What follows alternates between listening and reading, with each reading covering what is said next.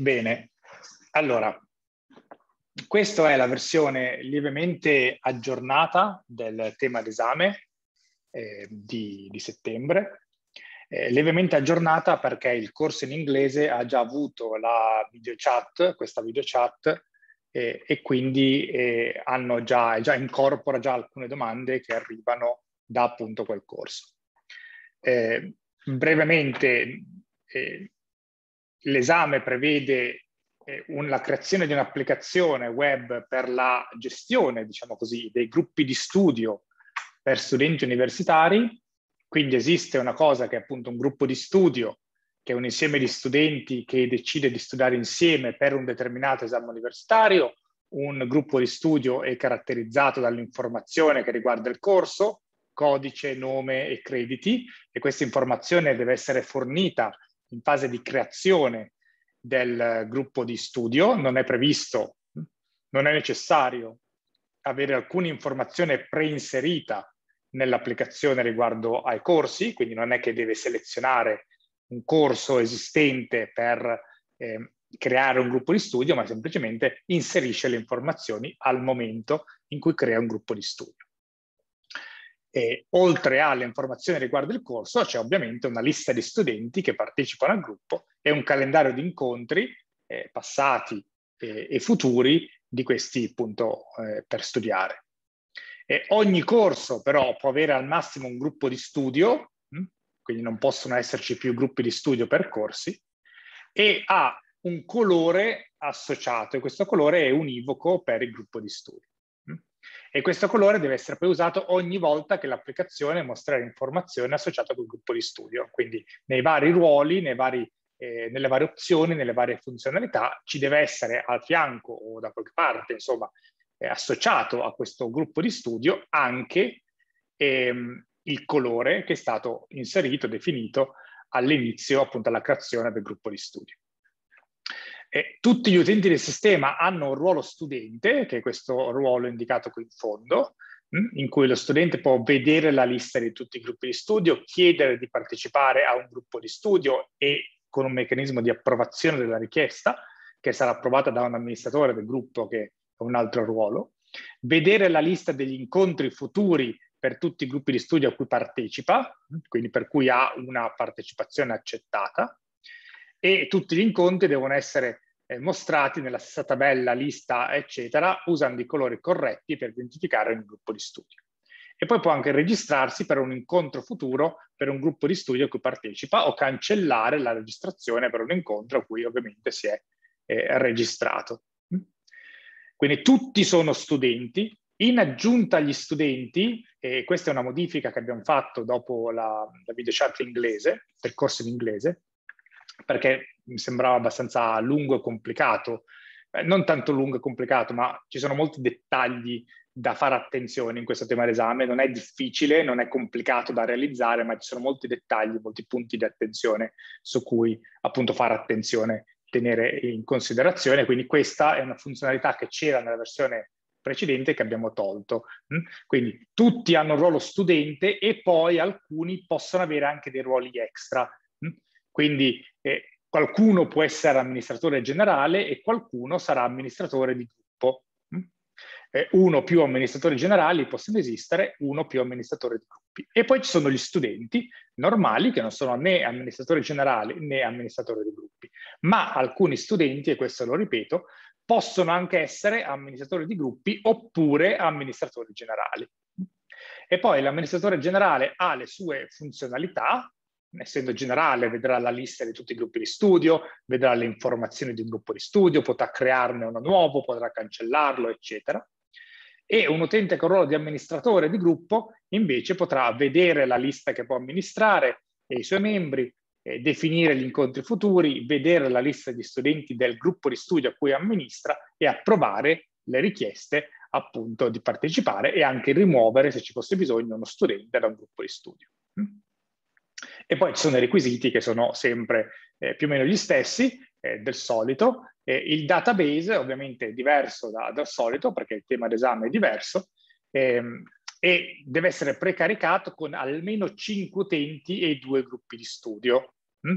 in cui abbiamo l'utente 1 che è un amministratore generale ed è ovviamente anche studente, perché tutti sono studenti, l'utente 2 che è sia amministratore generale che amministratore di gruppo per uno dei due gruppi di studio che è richiesto di creare, l'utente 3 che anche lui è amministratore di gruppo per quello stesso gruppo di studio, ma è anche amministratore di gruppo per un altro gruppo di studio, oltre a essere studente, l'utente 4 che è amministratore di gruppo solo di un gruppo, del gruppo B, del secondo, che è chiesto di creare, non importa poi il nome che, che si sceglie da dare a questo gruppo di studio, e l'utente 5 che è invece uno studente semplice e quindi magari sarà iscritto a qualche gruppo di studio eh, a, sua, a, sua, scelta, uno di questi due gruppi di studio, eh, a uno solo, entrambi, come si preferisce.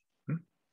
Quindi questa è eh, la versione, diciamo, un pochino più aggiornata rispetto a quello che, che, che c'è online del, del tema d'esame.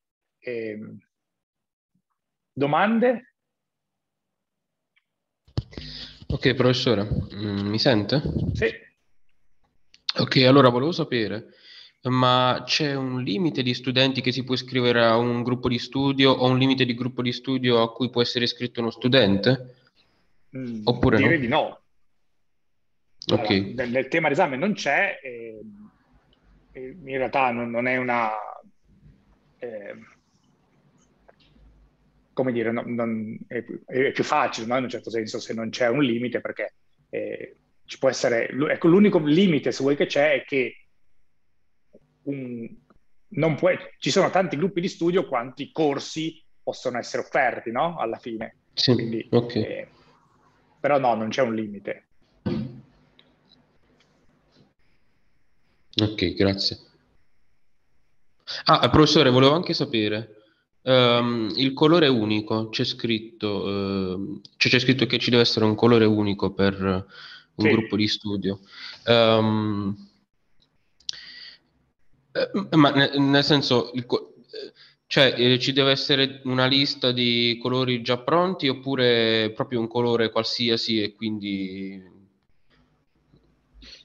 Uh, entrambe le opzioni secondo me sono valide. Mm, Perché se, se, cioè, se ci sono... di studio puoi autogenerare un colore, facendo attenzione a generare un colore che è diverso da, da quelli già generati, oppure far scegliere all'utente un colore, però escludendo i colori che sono già in uso. Ok, eh no, perché immaginavo se ci sono dei colori già pronti, eh, magari non ne sono abbastanza, non sono sufficienti per tutti i gruppi di studio e quindi... Mm. Beh, tu conta che sì, i colori sono a sufficienza perché i colori che, almeno penso che siano a sufficienza, insomma i colori che che sono a disposizione no, nel CSS, per il web. renderizzare sì. col CSS sono abbastanza, diciamo così. E, ehm, perché ci sono le varie sfumature, c'è il verde, il verde chiaro, il verde scuro, il verde un po' più scuro, quindi volendo ce ne sono abbastanza. Conta che eh, tu alla fine devi beh, consegnare, diciamo così, almeno due eh, eh, gruppi di studio. Hm? Quindi poi noi durante la correzione ne creeremo magari ancora un paio ecco, per, per provare, eh, però ecco, non, non, immagino che nessuno si metta lì a creare 27 gruppi di studio diversi per provare se tutti i 27 colori diventano... Eh, no, quindi non stare in, per dire, non stare a impazzire. No, l'importante è che ci sia un colore e questo colore sia univoco. Quindi se tu hai un gruppo di studio rosso, un gruppo di studio verde, se viene creato un altro gruppo di studio, Ecco, questo gruppo di studio non deve avere né lo stesso rosso né lo stesso verde dei, gruppi, dei due gruppi già creati. Poi, che questo sia un'assegnazione automatica, ossia una cosa l'utente, a cui l'utente appunto gli viene chiesto scegli il colore che preferisci e si esclude però i colori che sono già utilizzati, è, è appunto una scelta tua. D'accordo, grazie. Niente.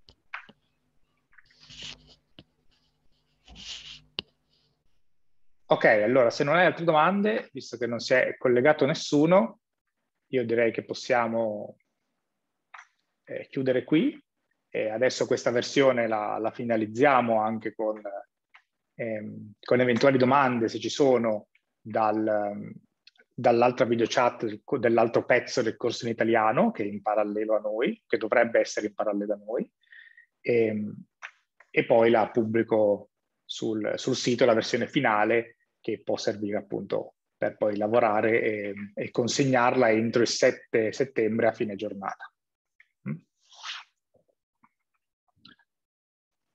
Ok, in ogni caso se poi ci sono altre domande, eh, puoi, puoi, scriverle sia tu che sei collegato adesso, sia chi eventualmente guarda il video sul canale eh, su Slack eh, e poi lì ci saranno le risposte anche.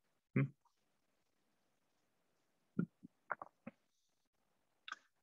Va bene, allora buona giornata. Buona giornata.